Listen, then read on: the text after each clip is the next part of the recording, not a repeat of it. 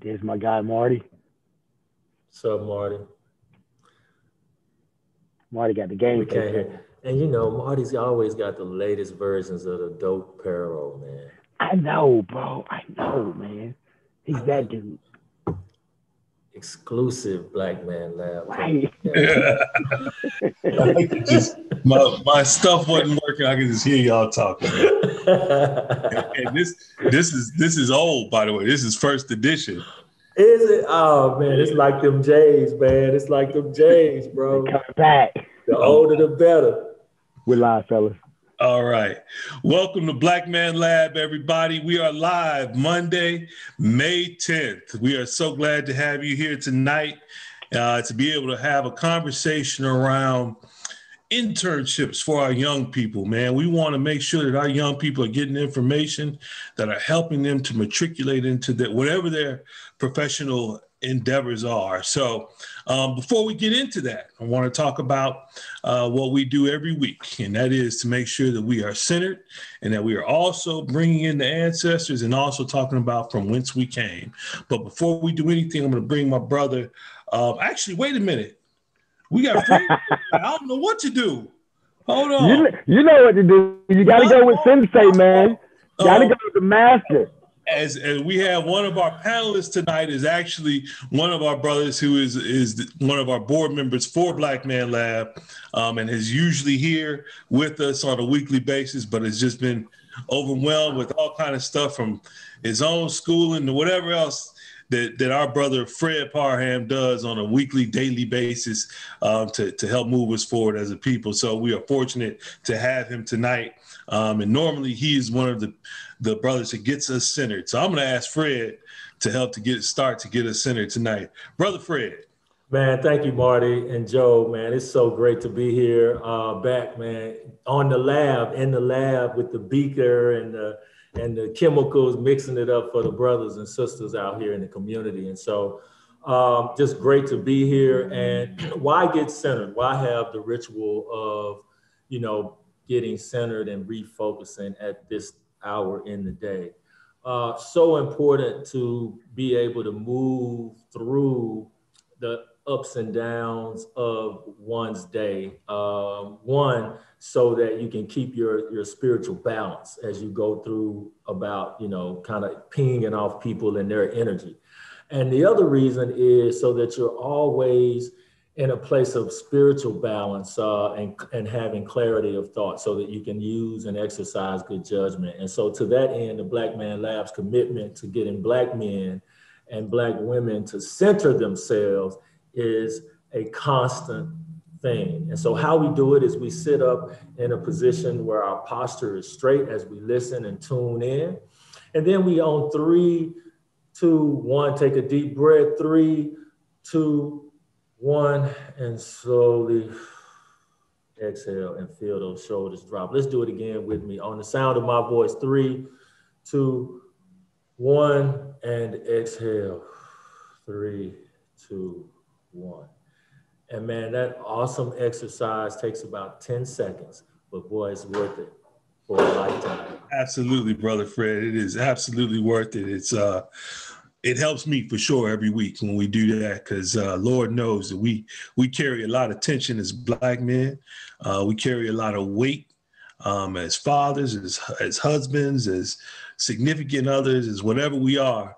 We carry a lot of weight, and um, sometimes it's good just to be able to release, and that release is important so that we can take in information um, because we know if we got a lot of head head um, trash going on, that that gets in the way of us learning. So uh, we're glad to do that every week, and and man, glad to have you here to do it this, week, man. That, that warms my heart, Fred. So um, the other thing is that we we always talk about um, from whence we came, and uh, the Black Man Lab started about four years ago, a little well, almost five years ago now. Um, four brothers got together to uh, get their sons together to have them to talk to somebody other than themselves. As we know as fathers, that quite often our sons kind of tune us out. But they might listen to an uncle, a godfather, a close friend, somebody that we have as a trusted advisor. So they started doing that about four years ago. Brother Mawuli Davis, three other brothers uh, got together, and um, that just expanded. Those young fellas that were there, you know, brought other brothers into the space, other young brothers into the space to just get information on life, whether it was something career related or something just self self development related. So um, that grew to us.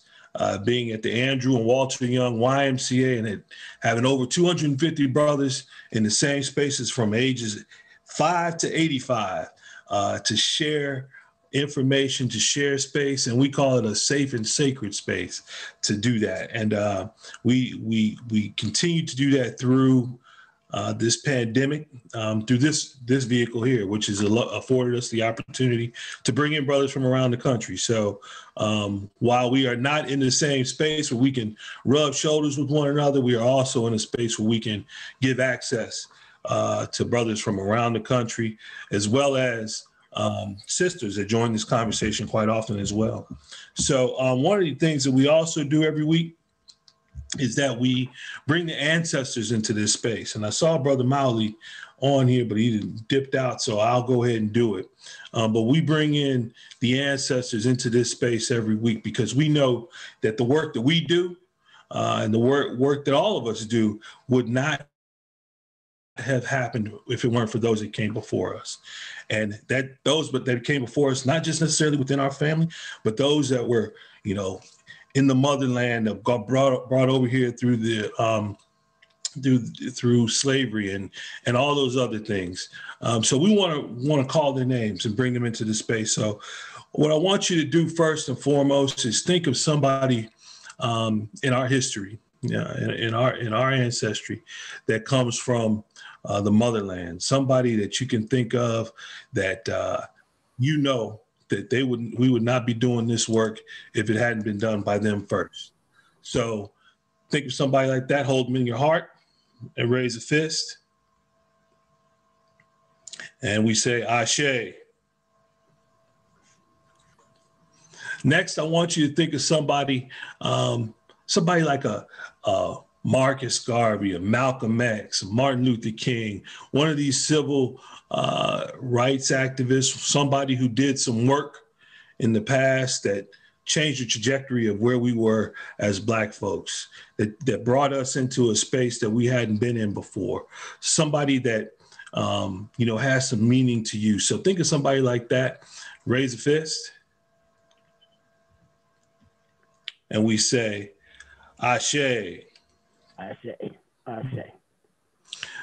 Next up, I want you to think of somebody like your, your Fannie Lou Hamers, um, Ella Bakers, somebody that was an activist uh, uh, that, that did the work to eman- help to emancipate our people even further um, and raise a fist. And we say, Ashe. I say. Lastly, I wanted you to think of somebody within your own bloodline, somebody like um, your big mamas, uh, your your your great great grands that you may have known of, um, the lady that was down the street from you that actually helped to rear you. Because we sometimes we don't look at you know we talk about um, it takes a village. And, one of the things that we've gotten away from sometimes is our village actually wrapping their hands around um, um, us as individuals. So think of those people, hold them in your heart right now. And we raise a fist, and this time we're going to say Ashe three times. Ashe. Ashe. Ashe. Ashe. Ashe. All right. Um, Brother Mawuli, I see you, you checked in with us. Want to say a word? Peace, fam. Good to see everybody, man. Um, you know, these these internships are key and critical, y'all. And uh, we got some some great brothers here to share. Um, and I'm going to be tuning in. I just wanted to just touch bases and uh, you know thank everybody for joining us. Thank everybody for continuing to support the Black Man Lab. We have a big event coming up on May 23rd. Um, reach out to Black Man Lab. Uh, it will be a in-person event for um, our young creators, innovators, and entrepreneurs. And so we we can't reveal the location because obviously there are some COVID protocols that are in place. But if you are a part of the Black Man Lab world, please reach to us um, so that we can get you the information. You don't want to miss this.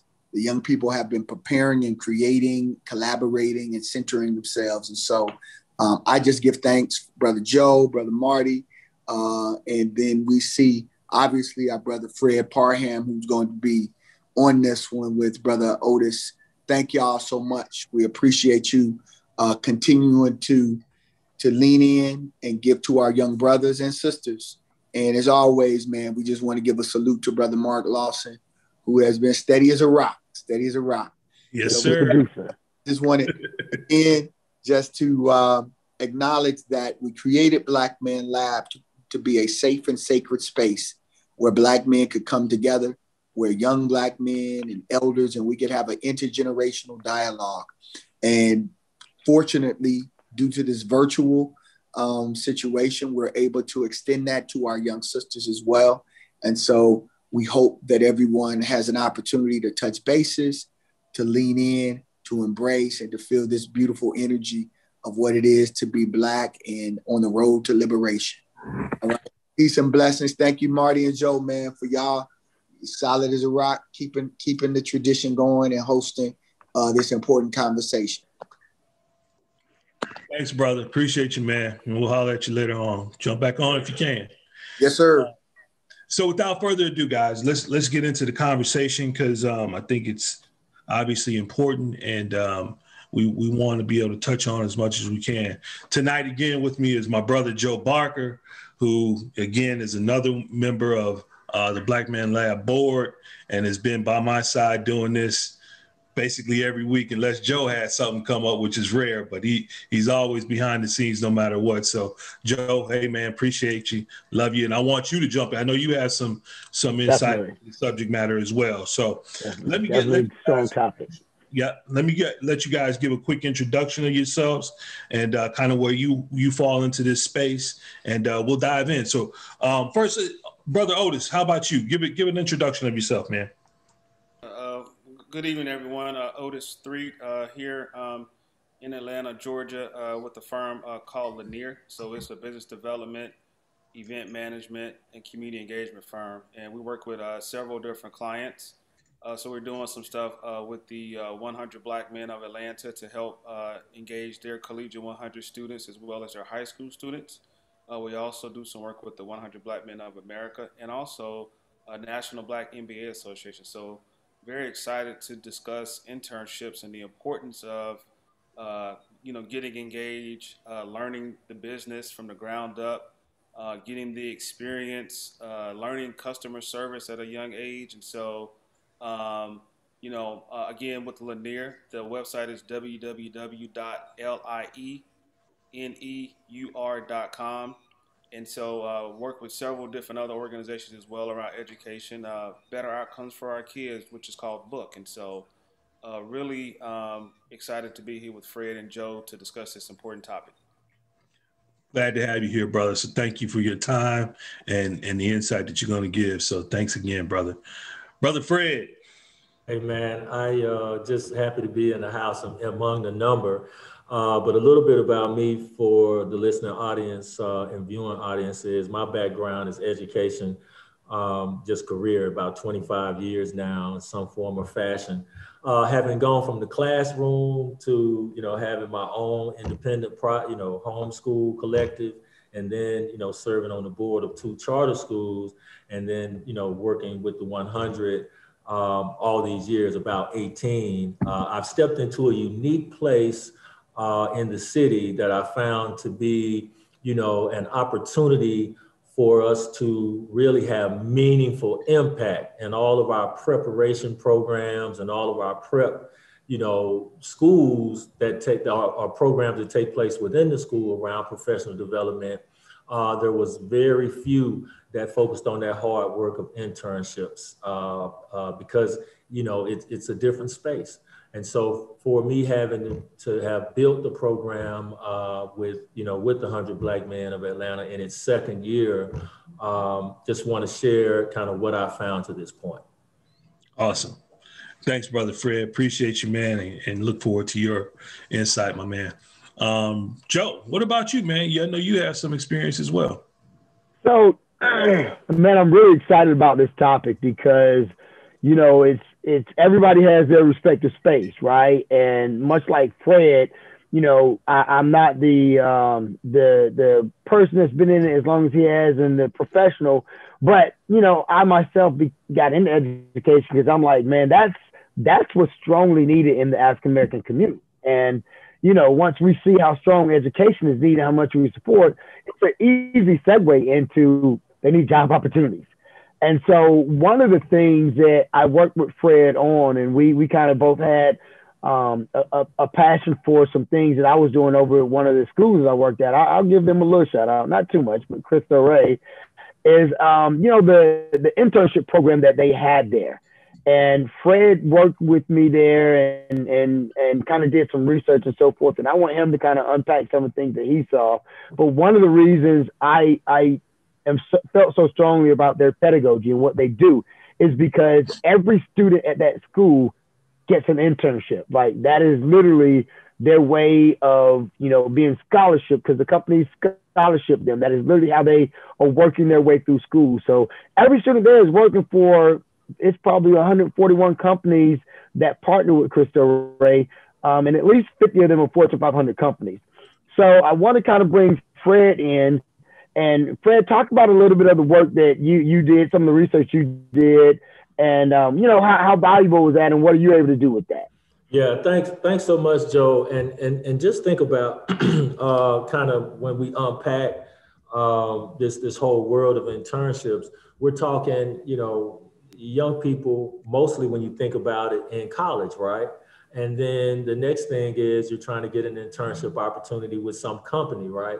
Uh, and and so the the general thinking is the better the internship or the better brand of company, uh, the better the internship. And so that's the general thinking. And so, but when I started digging in, you know, I started with this governor commissioned um, um, kind of well, what was it called a commission uh, around employment. And so what the governor's office did is they convened his office, which is you know the state administration, and then the board of the Georgia Board of Regents, which runs the colleges, the state colleges in the state, and more importantly, the curriculum, uh, the, the, the, the, curriculum for those colleges. And then third, the business community. And so the top 33 businesses in the, in the state. And this was about five years ago. So they traveled around the state convening these meetings, surveying, uh, you know, local businesses, uh, the local college leadership, uh, and then and, and understanding what is it that companies need or want from, you know, incoming, you know, workforce. Uh, and then what does the current curriculum uh, train students on and prepare them to do, right? So what skills will they have when they leave these colleges? What's available? Mm-hmm. And then mm-hmm. third, how can the government facilitate uh, those two entities coming together with the least amount of, of uh, wrinkles and problems? So what it revealed was that Georgia has an aging workforce. So uh, there's going to be uh, a shortage of people to fill you know, a, an exploding economy. And then two, that the, the, the latest young people say in the past five to six years, companies are saying that young people are not staying. Uh, while they may have the academic credentials, they lack in certain, you know, uh, soft skills, as they say, or essential skills, uh, depending on what side of, you know, the classroom you're on. And so, and then thirdly, um, just the ability to problem solve in the workplace and, and right. work on long-term projects. So those were the top three things that the governor's report uh, really kind of bear out from what from the company side uh, or business side of things.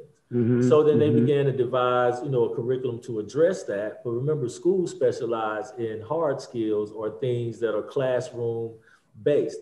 And you had organizations that did that work, like En-ROADS uh, and others, to prepare students for internships.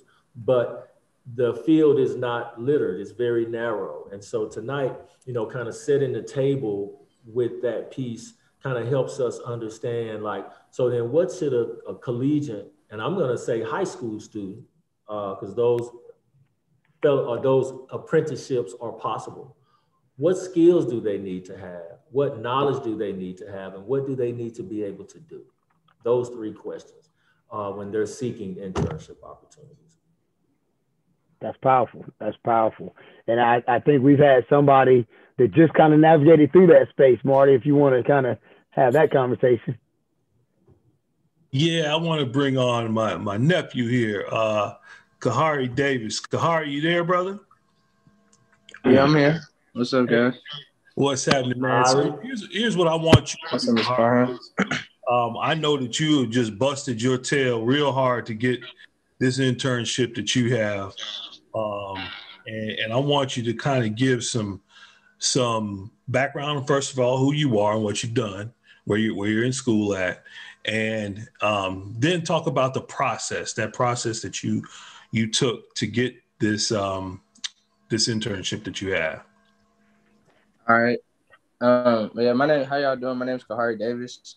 Uh, I'm a rising senior film major at Howard University. Wait, you. And uh, yes, yes, you already know what's going on. Uh, yeah, so this like this last semester, well, really this whole this whole school year, I really been focused on getting an internship since I will be a rising senior, and I know like that's vital to like uh continuing continuing a job when I after I graduate.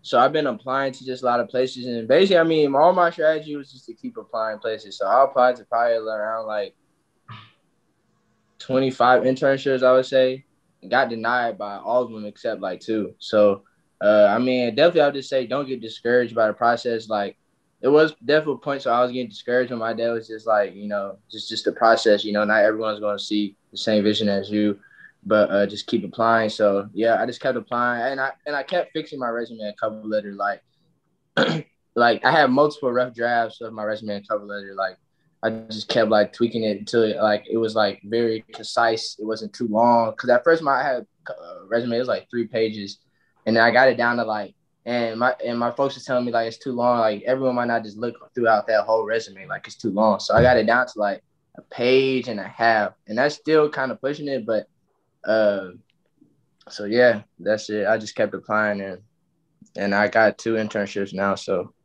a, a question for you, Harry, which is beautiful, by the way. Great job perseverance. But question for you now: the the companies that you were applying to, did they did you know they were already giving internships or you were just forcing the issue on your end? Oh okay yeah like in terms of finding them uncle marty? Yes. Oh in terms okay yeah like i was it's a lot of good websites uh i was using to find them uh indeed uh hmm. indeed.com glassdoor uh it's another one oh handshake handshake those mm. are all good platforms. I use all of them. You know, uh, even if you go to like if you're in college, your career services, uh, your career services department, they should be plugging you because I get a lot of emails from my career service. I know you go to Howard, you should definitely be receiving emails all the time about internships. So every time I seen an email about a production or film internship, uh, I just applied. Like it didn't really matter. I just applied as soon as my uh, school sent it out because if your school sending it out, that means that these right. companies are reaching out to your school, meaning yep. that once you apply, you know, they're gonna see, oh, you go to Jackson State or wherever wherever college you go to, you know, you get first hand priority. So when your school sends it out, apply. It increases your chances of getting it instead of just applying from like through the website or something. Good stuff. Good stuff. Anybody have any questions for Hari? No, I think actually, man, Hari hit something on the head uh, when he said, you know, he applied for about 25 and he got two. Don't get discouraged because 99 no's get get canceled out by one yes, young folk. So those who are listening or will be watching in the future, remember that uh, persistence, persistence, persistence. My only question for Hari is, is how did your network help you, bro, in terms of just knowing what's available? Because uh, I stress to my students is your network, you know, is powerful when you use it. Well, yeah. Um, uh, I was really, I'm pretty cool with the career who's lady who's over career services.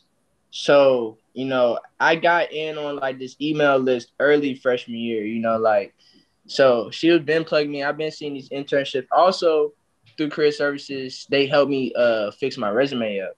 Uh, so like that that network definitely did help because you know my resume was getting fixed by like someone who really like does that professionally, help build resumes and stuff, and be looking at people recruiting. So yeah, it definitely did help me like knowing uh people throughout Howard. And Marty, if I could, I want to bring uh, Otis into the conversation. Please, Joe, please. Um, just on because I think you know as the young people you know go through and searching for internships, it'd be helpful for them to know kind of what the companies are looking for and how they plan to recruit interns, and then on what part. So I know OT is is like a Swiss knife in that regard. He can kind of give us some broad, uh, just kind of conversation around you know, how do companies put their internships uh, together, and then you know, how do they put it out for college students to access and that kind of thing. You're on mute, brother. Yeah, great question, Fred. I think as you mentioned before, you know, understanding your network and how you can tap into your network helps a lot. Like Khari said, he was able to get in on the email list early. So part of it is just getting the information and being able to um, have access to it. For example, with some of the students you work with, you know, you may get an email from me or a text from me saying, "Hey, throw this out," and uh, it's an opportunity for them to apply for an internship, or you know, at least people know that they're, you know, that they're hiring, as he mentioned. Uh, some of the things that they're looking for is what differentiates differentiate you from other people. What makes you different? What makes you unique? Uh, what are some of the experiences that you have or have had um, that that make you different. Uh, one of the things they're looking for is definitely how do you problem solving. So you know how can you solve a problem? How can you add value? Um, as well as again, as I mentioned earlier, customer service. You know, being able to treat their customers properly and correctly, and doing those type of things. And so, um, you know, it's a great time now, you know, to be a diverse candidate because everyone's now look now everyone now is looking at you know who they have in the company, what their hiring practices are, um, are they really going out recruiting at Howard? Are they going out recruiting at Clark Atlanta? Or are they just going to Georgia Tech and Georgetown? And so, um, again, they want to be able to look at diverse candidates and how um, they have the opportunity to attract those um, students. And so, um, everybody wants to showcase what their company is. For example, you know, you have Coca Cola, but you also may have a Cox Enterprises. So, Cox Enterprises, most people like, what is that? And so, you know, they want to sit around and talk about you know, we do we have Auto Trader. Uh, we are into cable. We're into newspapers, and so it's an opportunity for students to learn the, the business from there for it. Thank you, OT, for that. And I'll just throw, you know, and just think about, you know, the tech industry, which is a growing market in Atlanta. And Otis can speak directly to it, and probably everybody here uh, who is in, in in the workforce. But so the tech industry is growing here in Atlanta. You've got Apple doing some things. I know, you know, I've been privy to some things that, that a firm, Microsoft, is going to do more than the building that's just on 17th Street uh, and doing work in the community. And so, you know, as the tech industry grows, our young people are generally end users. You know, for those who are watching, meaning you're using either holding the joystick or, or controller or holding the device or phone. And uh, but man, there are thousands of internships out here that are coming and that are here. And so we want the young people on this call um, or who will watch it later to just know how do they one prepare. So, so what skills do you need to have? Uh, and so you know one of the main things that the companies said and that I've heard with my own ears from from from executives is that you know young people come into the to the office space or to the interview and they you know the, on paper they're beautiful right? Perfect candidate.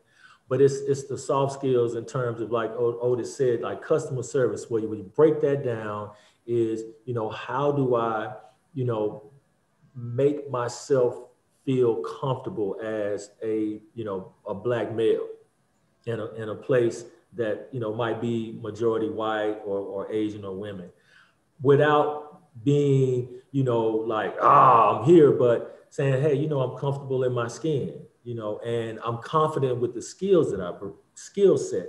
And so that's just a matter of, you know, being on time. You know, that was one of the, the challenges that companies said for a prolonged period of time, right? You know, being on time to work, being able to follow through um, in terms of you send an email requesting information and then being able to just follow back up to see that something was done that was asked of you. And so those are what we refer to as soft skills. And in, in the program, Career Pipeline program, that we focus on 10 training sessions uh, in the spring around, you know, emotional intelligence, for example, conflict resolution in the workplace. As Otis said, people want to bring you into their company, one, because of who, what skill set you bring. Two, because you can solve a problem and you can be effective communicator, uh, both in writing and orally. And so honing those skills give you opportunities in the internship to practice for the long game, right? And that's what the internship opportunity really does is give you a little practice for the long game. And uh, so I'll pass it to Joe to talk a little bit about his experience there also. Yeah, sure. I think, um, you know, with me, one of the things I, I liked about Cristo Rey, and again, I, I don't want to give them too much airtime. One thing that they do have right is – supporting the youth in our most underserved communities with internship opportunities. These are students that, you know, aren't going to have the, the, the Martys, the Freds, the, the Otis, the Joes, the, the Marks as parents that are going to like help them navigate some of these territories. And so the fact that they're giving them these internships is, is really important because to your point, and, and all of y'all are mentioning it, to your point, these are students that at 13, 14 years old going to be working Fortune 500 companies. And now not only do they get to college and have that experience, but now they recognize the importance of having that experience. It's, it's one of those things like any coach knows, I can't want it more than you. I can't want an internship more than you. Golly wanted that intern. You know how many, you know, uh, uh, jobs he applied for? You, you got to want it. And the thing that they get at Cristo Rey is once they get that first experience, they realize, oh, look at all these people, these people in, in here. You know, when I, Fred, I think I heard you say something. I, I'm interested in both you guys kind of unpacking this. But one of the things they see when they go in those internships is the amount of, I can say, because I'm old, the amount of old people in these jobs. And you know what's happening. And my nephew, who graduated from Harvard, never had an intern, complained about this after Harvard. Like, we can't get jobs because all y'all old people still got them. And y'all are doing a great job. It's not an insult, it's a compliment. It's like y'all are doing a great job, but these young folks are having these challenges in this economy, getting it partially because they, they're not aware of them, but then they're also competing with us, if I'm being honest. What what is y'all take on that? How do y'all handle that, Otis and, and, and Fred? Well, I was going to mention as Fred uh, was was, was uh, discussing. You know, I think too the challenge with uh, young people in the workforce is how to how to communicate across generational lines. And you know, as youth, uh, you know, there's a lot of messages that go back and forth via text. And when you're in the workplace, you know, the older older guy may not want to communicate through text. He may want you to pick up the phone and call him or you know he may want to reply to email, and so that's one thing. But secondly, um, I think you know um, as you mentioned in regards to the older uh, uh, people in the workforce, you know, try to get one of them to be your mentor. You know, say, hey, mm. I want to learn from you, Joe. And Joe, um, you know, I see, I like what you're doing, and so now Joe is kind of passing along some of those uh, skills uh, to you, which are soft skills more than likely, um, you know, to help you navigate throughout the system. Great point. If I could hey, jump in real that's quick. That's a wisdom nugget right there. if, if I could jump in real quick, I think one of the things that's essential as we talk about uh, internships is the amount of education that you get in an internship is going to actually wind up trumping what you've learned in school. Sure. And, and that occurs because, and we all know this because we, are all, you know, even in our work world, the same thing happens, right? You you've gone to school, you got your degrees, whatever, and then when you go to whatever company that you happen to work for, you got to learn their way, right? right.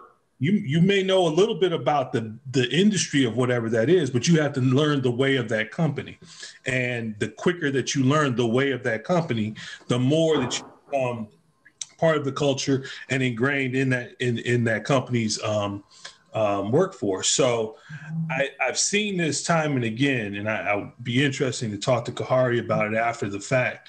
Is that when you go, all the stuff that you've learned in school, there's just a there's it helps to help you be able to learn. But what you learn there at that job, at that that company that you're interning with, is that education that you wouldn't have got otherwise.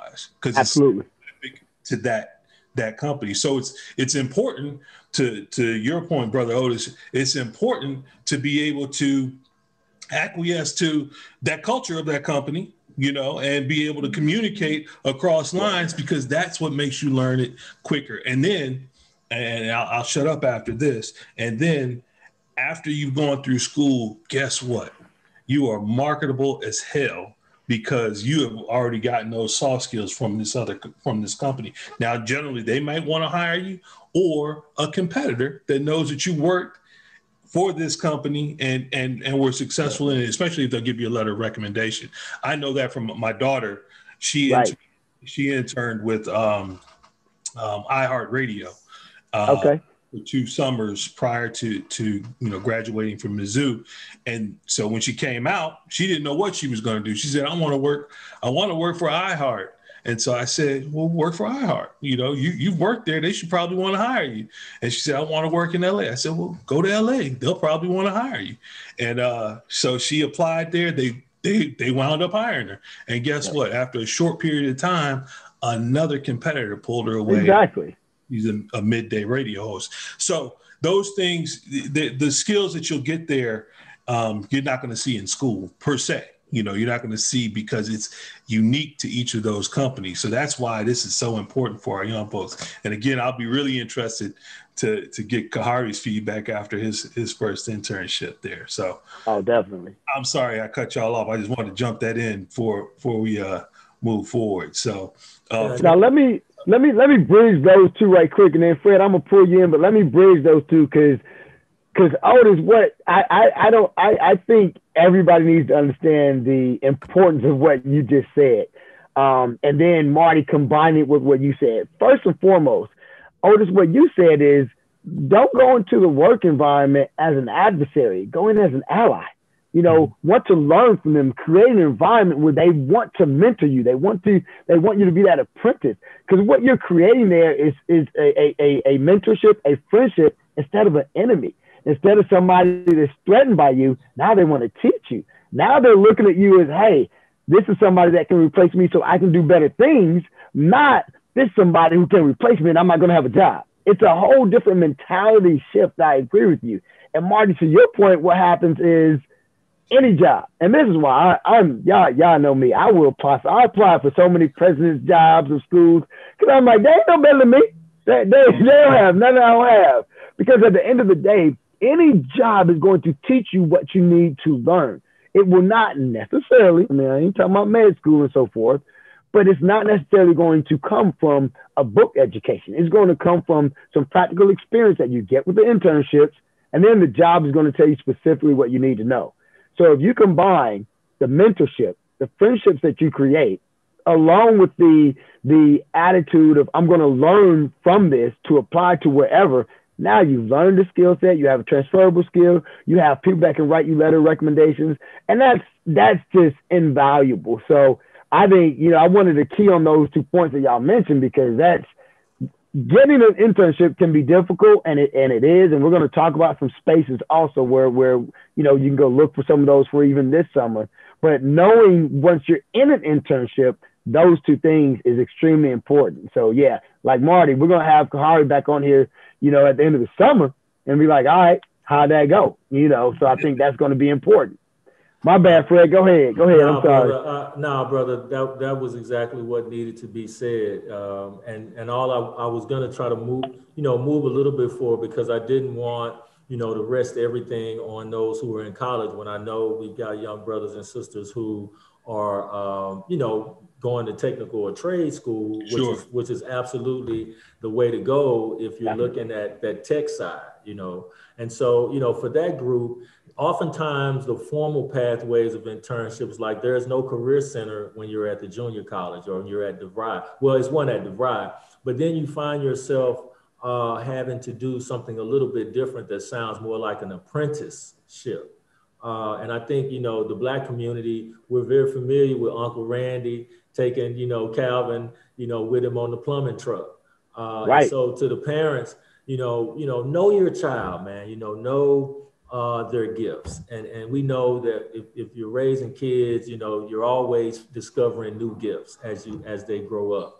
But know them well enough to know, you know, if you have to get out there and create an opportunity uh, for your kid to have an apprenticeship, you know, at the automotive uh, local automotive shop, because that that actual training will help them, you know, and be applicable when they apply, you know, for uh, entering, you know, technical school or, or trade school.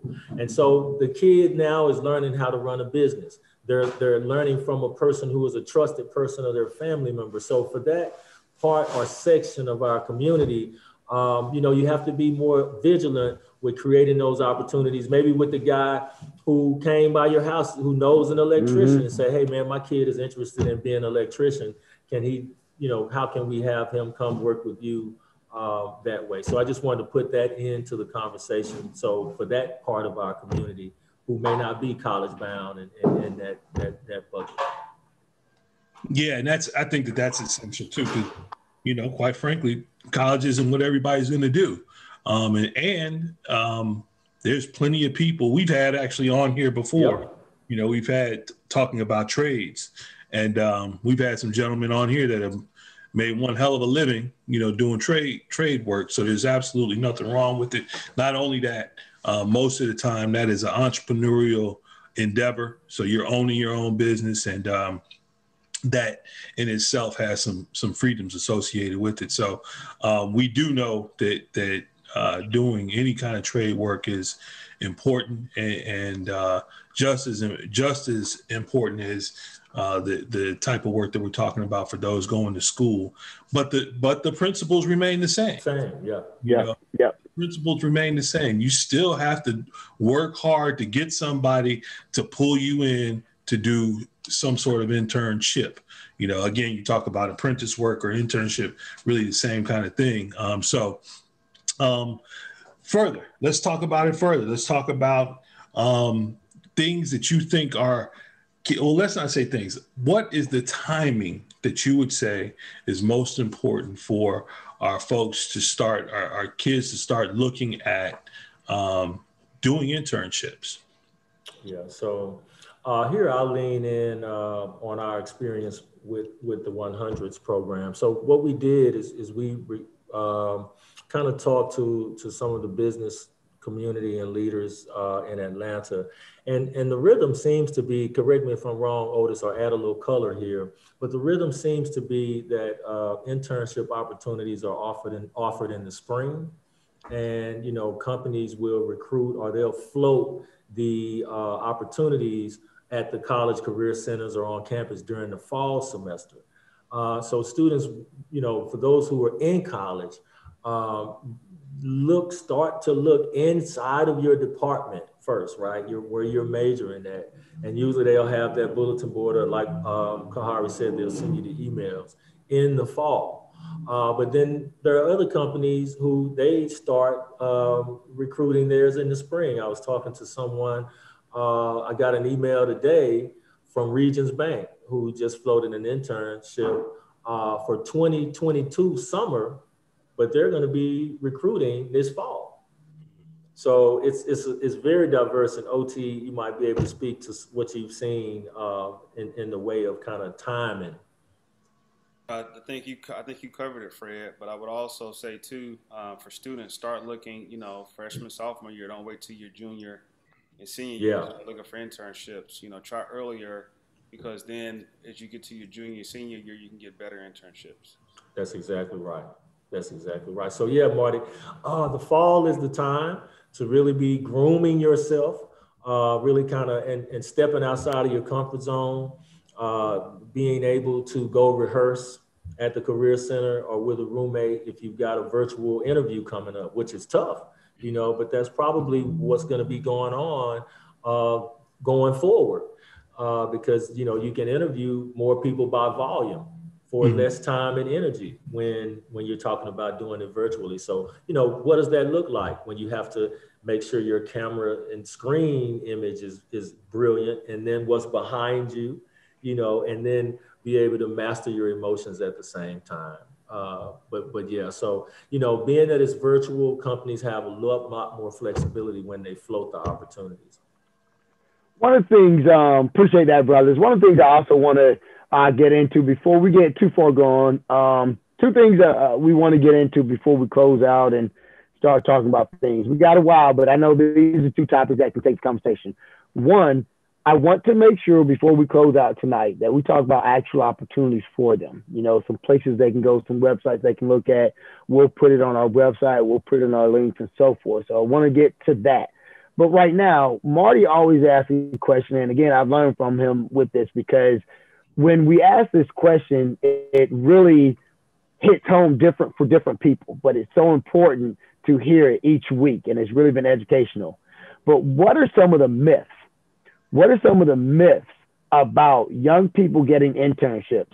Um, and when I, you know, I want to say it's, it's, I really like to say internships because you know it's jobs slash internships. You know, um, at the high school and college level, what are some of the interns? Uh, what are some of the myths? I ask that because often many of the students that I mentor, Fred, and I know you, I learned a lot of mentoring you from you. Let, us just be clear. Whether I was, you knew I was taking notes or not, I learned a lot from you. And a lot of kids come to me and say, hey, you know, I'm 15, but I want to work. And the last thing you want to do is tell a 15 year old, oh man, you're too young. Or sorry, sweetie, you know, you're still too young. You want, you want that energy. If they, if they want that smoke right there, and you want to give them those spaces. So what are some of the myths for high schoolers or college students with respect to interns or jobs that we should dispel?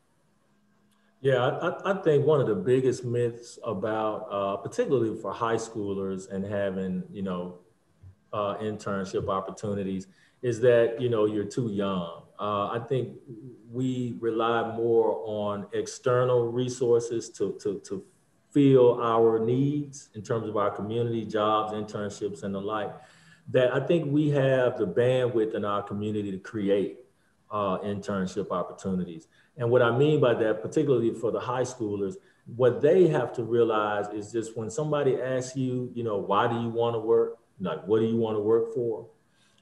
Being thoughtful to say, man, either I want to get some money to do A, or I want some experience so I can springboard and do B.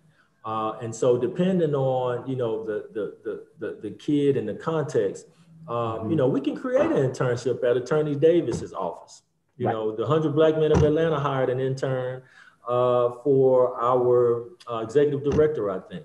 And then I'm going to hire an intern from the Collegiate 100. So I think, you know, doing an intern at your church with the secretary right. is internship because all of the skills and attention to detail that one would need if you're at Coca-Cola, you can learn right there at the church house, you know, right under the direction of the secretary, because most church secretaries right. are serious about their books.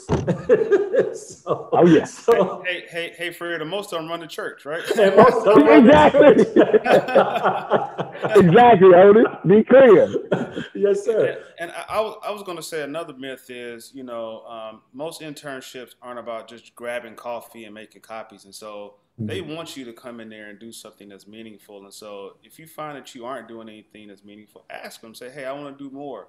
Um, that's right. So it's okay yeah. to make mistakes. Again, again, students, it's okay to make mistakes. So, you know, do yeah. things. If you make a mistake, own up to it. Say, hey, I made, I did this wrong. What can I do better?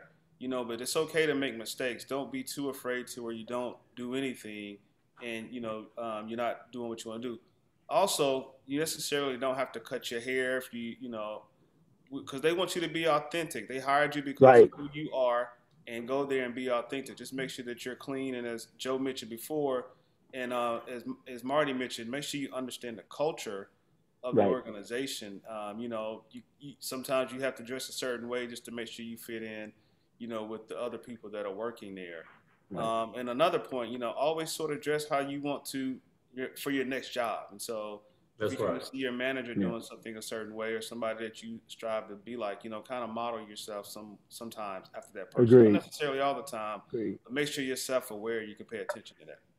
Yeah. No, that's that's that's that's a good point, Otis, because you know we we we at our age we're we're woke and we we don't code switch and bump that. I'm just, but let me tell you, you know, if you want a job, sometimes you have to go alone to get along, as as was quoted in a movie one time.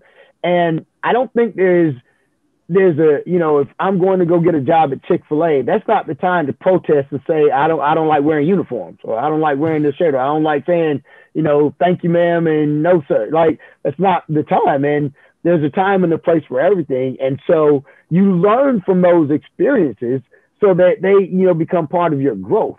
You know, and part of your growth might be okay. I know I don't want a job like that anymore. I want a job where I can dress like this, where I can. Well, I, I remember for the longest time when I got into ed- Fred, you're gonna laugh at me. When I got into education, my big thing was I wanted to coach so that I could wear sweatpants and a t-shirt every day to work. That was my reason.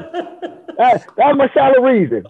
And, and, and, Joe, I got a friend. He's in technology now. He said he never wants to go back to where he has to wear khakis or you know slacks. He gets to wear sneakers every day, Exactly. and everything. He loves it. But he he, Exactly. he he said he never wants to. He worked in that place before. He worked in finance, but he worked at a a, a credit uh, bureau, Experian, Mm-hmm. and he had to wear you know slacks and a button-up shirt every day. He said Yep. I never want to go back to that. So every job he looks for, he's looking for something that's in technology. where There you go. He also, I think, as we all talked about, he wants to understand the culture, you know, of the Yeah, organization. that's important. Also, it's not about the person hiring you, and, and if you're a fit for them, but you know, are they a fit for you? As Joe mentioned, if you don't want to say yes, ma'am, or yes, sir, it's my pleasure, you don't Not want to work spot at for you. Chick-fil-A. exactly. the truth of it is, Otis, you probably don't want to work too many places. If that, Let's be real. Exactly. that, that goes to a point that I was going to talk about. I, I've, I've been fortunate and have hired some some interns and folk, folks in the past. Um, one of the things that that I always talk to them about as being essential for them being successful in their work is having a customer service mindset because that doesn't cost you anything, right? That's right. having having that mindset is going to do one of two things for you. It's either going to work for you externally, meaning the people that are coming into the door of that company, or secondly, and, and also secondly, it's going to work for you internally, meaning the people that are your your uh, superiors are going to see you and say, "Hey, you know that that that Fredrick dude, he really got his stuff together." Only because you've just done some basic customer service action, right? Yep. Saying thank you um, um, please, how can I help you? Some very basic things that aren't, you know, that's that's just common common sense, right? That's not you being going outside of who you are. That's what we all should be doing, right? Being be, decent people. So showing yourself to be that, I think, um, winds up making you have a better impression on that company. Likewise, anybody that comes into that company and says, you know, especially if you're a young looking person, if you're a young man, young lady, they're going to say, who is this sharp young kid? You know, simply because he held a good conversation, right? So, um, I, I had the four. I, w- I had a kid. Is I mean, tell a quick story. I had a kid. I worked for um, Konica Minolta many moons ago when I when I first got into being a, a sales director, and uh, this kid would come to my office every day and literally knock on the window of my office. Young young brother, about I think he was 14 at the time. And so I tell him to come around, like, what do you want? It's a weird thing. What do you want? And he was like, Is there any work that I could do here? He's like, I, I want it. Can I get a job here? And he was, like I said, 14 or 15. Like, yo, you're a little young for, you know, what we're looking for here. And but he was so sharp and professional. I kept saying to myself, how could I do something for this kid? I wind up talking to HR and I got him on as a uh, as an intern and all he did was file, you know, but he was that, that kid that said everything right all the time. And it was because, you know, he was brought up nicely, but it was just funny that he wound up years later, I gave him his first full time job because I still I worked for the company for eight years. He came back, came on as a salesperson right when I he was my last hire. I left the company and I hired that kid. I wonder what he's doing today, but he was so sharp on being just on time every day. He would beat me to. I opened the office. He beat me to the office. Mm-hmm. He'd be there, cold, rain, sleet, or snow. He'd be there. Those are the kind of things that if you young folks out there listening are doing, you know, even at at 13, 14 years old, people will find something for you. People will want to work with you, and you can port yourself the right way. People will do do do for you. So, um, I just want to throw that story out there because I forgot about. No, that's important, man. I was like, um, I remember that kid's name was Anthony. I can't remember his last name. Probably he's probably he's probably a CEO now, by the way. Yeah, he oh, definitely is outranking us at this point. He's definitely outranking us. In the right. I, was, I was going to say, Fred did a program with Southwest Airlines, and they were uh, working and talking to some students about job opportunities. And I actually sat in on a breakout room with a young lady who said, "Well, I don't, I don't have any skills that are relatable." I said, "Yes, you do. You worked as a cashier, you know, at the grocery store, and so you're able to transfer those skills and say, "Hey, I have customer service skills. Hey, right. as you mentioned before, Marty, I'm on time." You know, there are all those little things that you learn throughout that process mm-hmm. at um, at the at the grocery store that are transferable to other jobs, and most of Definitely. it, Joe and everyone's been talking about today, a lot of it's just a soft skill part. Absolutely. That, that you can transfer anywhere. You know, the results and that you you know help to create customer service uh, scorecards at the at the organization. So mm-hmm. again, it's those soft skills that you learn. And yeah. Joe, uh, Fred, Fred was on point. We do know each other from Cristo Rey and, and Book. We, connect, we made a connection about before you moved. To oh, South Book. Carolina. Before you went to South Carolina. Yeah. Cristo Rey. Yes. Yeah. I knew it. All right. All right, Fred. You connected yeah. with Esther. no, I yeah, to Esther. Yeah, yeah, yeah. Yeah, I knew it, man. Taking my position over there. Yeah. She's doing great things over there. So you were right, Fred. Yeah, oh, I told you, Joe. Otis knows everybody, bro. Hey, small world, man. Failed, small man. World.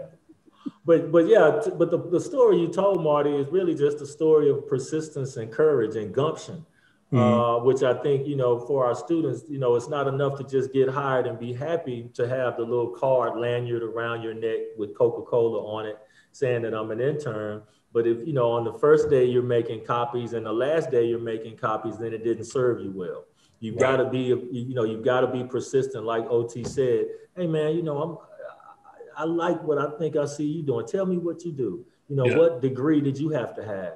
You know, can I shadow you one day? Because you know, I'm gonna make my copies between eight and eleven, but I can shadow you maybe in the afternoon, and and that kind of, you know, just uh, what go get itness, y'all. I don't know what the word is, but just you know, being able, young people, um, to to to where you start doesn't determine where you end.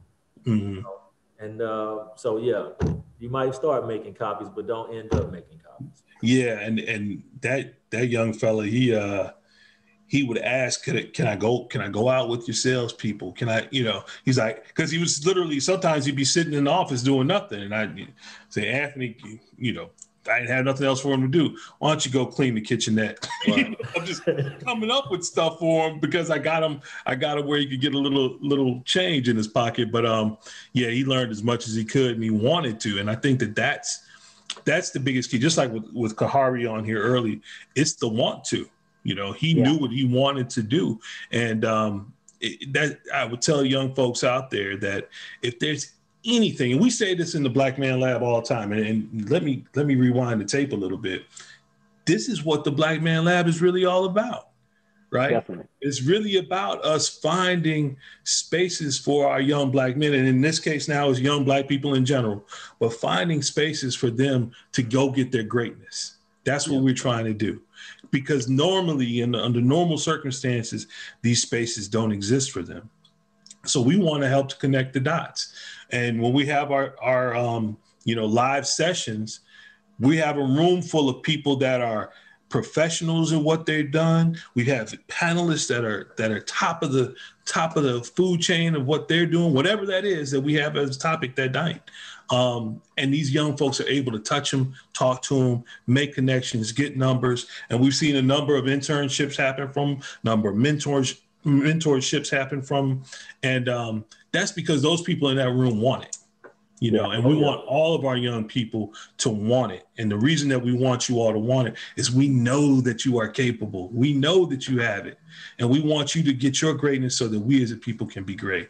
And I'll get off my soapbox from that. No, that's that's important, bro. That's important. And and it's funny because we've kind of transitioned into talking about um, you know, we talked about transferable skills, we talked about job behaviors, job cultures. And and it sounds like, well, I thought you guys were talking about internships. But that's what all of this is, you know, because what an internship is is nothing more than your opportunity to get in and look for something longer term later. So all of these things that we're doing, that we're talking about, how you behave in there, that's getting the internship, but then also how you get your good job after that by having those behaviors, by knowing the cultures and, and, and by by either acquiescing because this is an opportunity I want to grow or not acquiescing and saying, I know what I want, I want to be in technology. And so these this is all very valuable. What I want to transition into, gents, is is what are some of the opportunities that are out there now? I have a, a, couple in the back of my head I want to talk about, so don't feel that if you don't have anything, you don't have to say it. But Fred, I, I know you, so I know that you know you you have some things you want to say. Oh, this I suspect if you roll with Fred, you probably do too. But what are some actual opportunities coming up maybe this summer that some of our youth high school or college could look into? Yeah, so I'm going to talk a little bit about one that uh, just happened. Uh, as I was saying, it's uh, this is for those who are on the trade side, and they can hit this okay. website. Uh, actually, I don't know, Joe. You want me to put it in the chat or just? Yeah, put it in the it? chat, and then I'm gonna go post it um, online. Okay, cool. So it's a it's about getting some practical skills uh, with uh, moderate pay, you know, anywhere from 12 to 17 dollars, but you're working with your hands in this opportunity, and it's across um, Fulton County, including Atlanta and East Point College Park. Uh, but it's opportunities for young people. Uh, you have to be 18, and I'll put okay. that in the chat. And it's uh, called Staffmark. And then the other opportunity, uh, I'm going to tell young people what Khari said and just reiterate and double down. Indeed, for the young collegian, Okay. Um, that is a great tool for internships and entry level positions. And then I'll add young folk get a LinkedIn profile and you're going to create your LinkedIn profile and then you'll enter certain conversations from LinkedIn that will produce opportunities because those people in that group will be talking about it. Uh, and so Regions Bank has an opportunity, and I'll put that in the chat as well. Again, that internship opportunity will start looking for students in the fall uh, for the summer internship in the uh, for the internship next summer. Uh, and so those are two that I knew that I would share tonight, and I'll put those in the chat, Joe. All right, that that. Um, I, I was actually sent one today. It's uh, Fulton County, and I think this is one of the annual. I think my son and my daughter have done this. Yes. Fulton County District 5 Commissioner Marvin Arrington and City of South Fulton. They're having uh, a teen hiring fair on Saturday, May 15th at Welcome All Park. Saturday, May 15th at Welcome All Park. City of South Fulton, Marvin Arrington um, are having a summer teen hiring fair. Um, so that's one that, that I've come across. Um, and then there's um, uh, Wagner Staffing is uh, is a, they always send me texts. I, I signed up for their things because a lot of the young men that I mentor are just looking for you know opportunities, even if it's temp placements. And I will tell you, thirty. How, hold on, I ain't gonna get into all that. So 20 some odd years ago, my first job out of college was a temp job that I turned into a full placement. It was a temp job with a temporary agency, no benefits, anything. And I finessed that into a full time opportunity, and literally the rest of my career followed that initial path. Um, so Wagner Staffing is an organization that they text me updates. Um, Amazon, Amazon's always hiring. Always. Amazon is always hiring. I, I can go get a job with Amazon with a full time job right now. I can go get a job at Amazon. They're always hiring. Um, Clorox out in I want to say Douglasville had a hiring opportunity. Clorox out in Douglasville. So these are just some of the things I've come across. I'm going to go put these in in, in um, the Facebook link. if others want to chime chime in, I'm gonna go start typing some of those up as well. And Joe, I'll drop that regions uh, in the chat. I was just looking for the link. I want to make sure it's the right one with the dates and everything.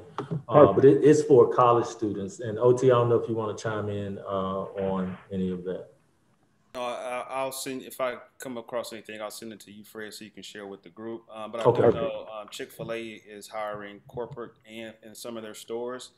Um, it's just their corporate office is here. You know, if you were to work in one of the stores and did a wonderful job, I'm sure you get a great recommendation. You know, for the corporate office. So um, th- I know the corporate office is looking for some hires, um, as well as um, uh, Papa John's. Uh, so Papa John's just moved their corporate office here uh, to uh, the Battery where the Atlanta Braves play, and so I know that they are looking to hire a bunch of people before July. And so mm-hmm. I am sure that some of those are internships or opportunities for younger people to get get in. Hey, I, I got a quick question. As as a black culture, did we cancel Papa John's or are they cool? I I, I just want to be clear. Oh yeah, Shaq Shaq changed the game, Joe. They're, they're trying to get Shaq changed the game, so we're good. just making sure. Yeah, they, they they're hiring black people because they they they trying to make up for their mistakes. I bet. oh yeah. Shaq went hard on him, bro. I bet. I'll, I'll, put that in there then. one, one of the things that I'll also say uh, for our folks that are listening in, um, young folks, don't be afraid to, if there is a company that you are interested in, whether they are hiring or not, um, you know, if you're in college, high school, uh, late high school, of course, um, approach that company push it because you know whether or not they can pay you isn't what you're looking for right that's now. right what you're looking for is the experience and the ability to put i worked for abc company mm-hmm. an internship there on your resume and making an impression with that company um, as i talked about that young fella that i wound up hiring eventually when he first came on he wasn't a hire he was just doing work around the office because he was so he was so adamant about trying to trying to get some experience. Um, that same thing can happen with anybody. You can find a company that you're interested in that will be willing to take you on, although they might not be willing to pay you. They might be willing to give you some experience. So um, don't don't be totally discouraged if if somebody is not doing that uh, internship program specifically. They may still still be able to bring you on. Um, what we got here? Uh, questions in the comments about. Oh, let me go check, bro. You see that? Okay. Sorry, y'all. We're getting messages coming in at the same time. Um, we are we're pushing the clock here, but I don't I don't want us to miss out on anything with this subject matter. Is there anything that we've missed, fellas, that you want to touch on before I kind of transition to to how we round out our night? Uh, no, I was just going to reiterate what you just sort of said. Sometimes if you do something for free, it goes a long way. So uh, one of the opportunities that I had, I internship for about two months for free, and then turned into you know a paid job for a while. So mm-hmm. definitely helps. Yeah, absolutely. And and those, it's great to have that on your resume. You know, they, definitely. Whoever is your next hire doesn't know whether or not you got paid. You know, that's right. they just know that you worked there, and if that especially if that company that you work for is willing to give you a, a reference that's that's huge. You know that's huge. And i want to give uh, just a couple of stats just to let the young people know that where they might doubt themselves um, and their skills folks are looking for you. Uh, 83% of the people who land an internship usually get hired you know with that company 83% yeah. And right now, you know, on the tech side, it's 51%, you know, white men and 42% um, Asians and only 2% black. You know, these are your Yahoos, your LinkedIn's, your Googles. And so they're looking for your uniqueness, uh, young people. The, the data shows that they're looking for you because you actually help the bottom line. Diversity actually helps the bottom line of corporations and that data is true as well. The more diverse, the better your, your profit margins uh, because the creativity is more more abundant. So yeah. Good stuff. Good stuff. One of the questions that we'd had from uh, Facebook was any leads for music production internships. Um, I one of the the uh, one of our partners. I won't even say somebody that works with. They're our partner. Partner um, is Rap Plug. Um, Rap Plug has been with us for pretty much since the beginning of um, of uh, Black Man Lab, and they do have some internships. Uh, that was from Danielle Johnson Davis, um, who had that question, and um, we can maybe connect some dots because Rap Plug does. Our, our brother there, uh, who is the CEO, Craig King, does do some internships with with Rap Plug. Rap Plug is like, um, I guess as he he puts it, it's like the LinkedIn for the music industry. Um, so they deal with music production. They deal with all parts of music, so video, music production, everything. And um, I know that they do do um, uh, internships there, so that we can maybe connect those dots there for you, um, Sister Danielle. So um, that's all we got. Unless anybody has anything else. Okay. Well, we end every week with um, talking about our habits, rituals, and disciplines.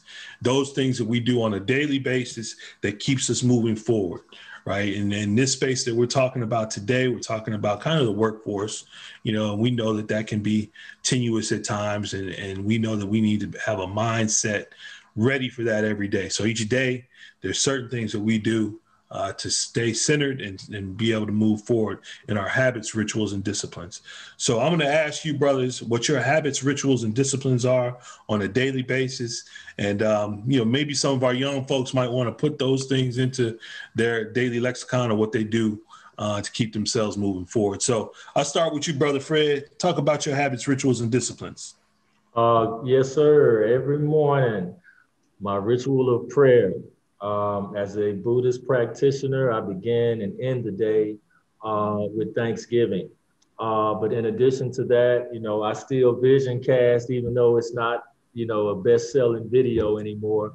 I still cast vision uh, every day and envision my success. Uh, before I get out of bed, I think about, you know, everything that I have to get done that day. Uh, and then when my feet hit the floor, I'm about the business of getting it done.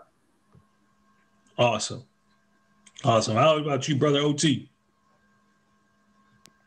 Yeah, so um, I'm not uh, doing meditation as much as Fred, but I have started it. So uh, I'm doing it weekly on Mondays with a group of brothers. Um, but I'm also starting to take time and do it, you know, myself. So I did it this morning uh, with the group, but also looking to do that, as Fred says, it definitely clears your mind and gets you focused. Also have a habit of looking at my calendar the night before just so I can mm. kind of understand what I have planned for the next day.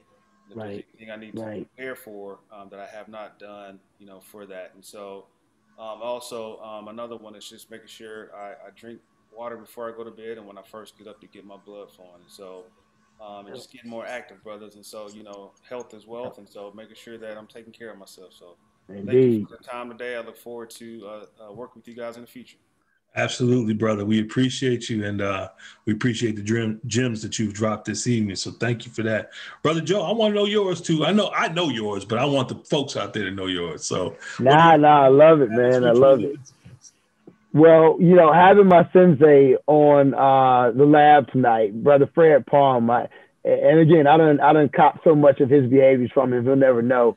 But just a while back, back when we were at the Y, man, we were doing Black Man Lab and you know, he was on the panel talking about his Buddhist practices.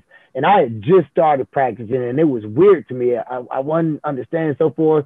But then when I saw him and how long he had been doing it, how at peace he was, I, I, I consistently went uh, went with it, and it's been it's been very transformative, man. I, have been at peace more than I ever have in my life because I'm starting every morning with my Buddhist chant, with my Buddhist prayer, um, and just I look at things just in a different way. It's, it's not so much a deity that I'm, I'm worshiping or thanking, but just the universe and everything that's provided for all of us that we all have access to.